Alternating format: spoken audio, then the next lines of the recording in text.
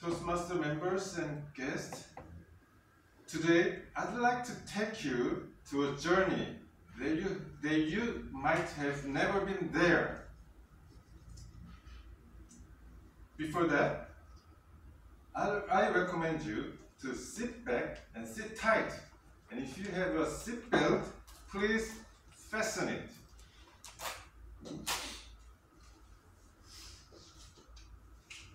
On a mild spring day, I was riding a bike. I was a biker, like in the movie, a skeleton on fire riding a, a bike on flame.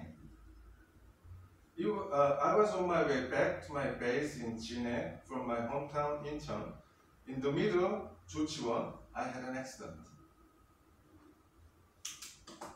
It was on a down slope, and I was stepping on it. My bike was flying, but at the end of the road, it was turning to the right. While I was making my turn, I saw yellow line in the middle and a tire of a car. Instantaneously, I knew that I'm going to be crushed under the car and my skeletons will be scattered to pieces. So I decided to stand up and go right straight forward against the car. So I did. They went to bang! I clashed into the car. And there went a boom while I'm landing on the ground. In between those two impacts, what do you think I saw? I saw everything is perfect and a human body flying. And that was my body.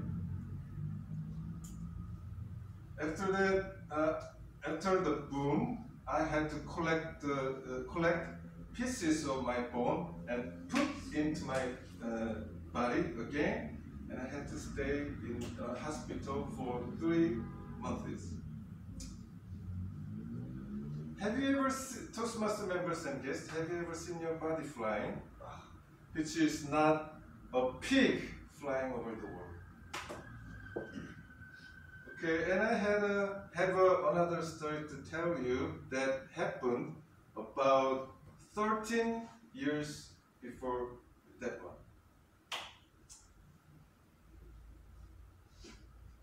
It was on a hot summer day in Busan. I was under the sea. Drowning! Yeah! I saw the last bubble of air from my uh, mouth passing in front of my eyes and going up into the surface. I tasted the saltiness.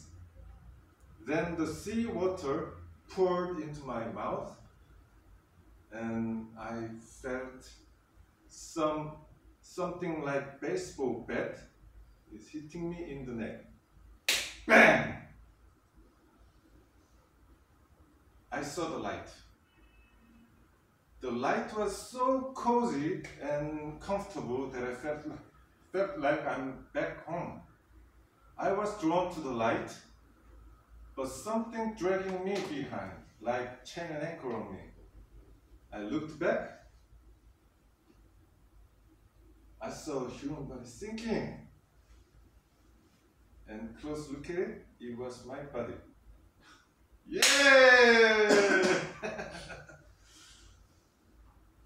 to my surprise, I opened up my eyes and walked out of the sea. And I saw the sky was yellow. In search of what happened to me, I found the book written by ancient Tibetans and ancient Egyptians. They knew something. According to the book, uh, it was the Bardo state, which is life after death. And the light was the source energy. Realizing that I had been there, there, you know, there, I'm proud of myself having made it back. Yeah.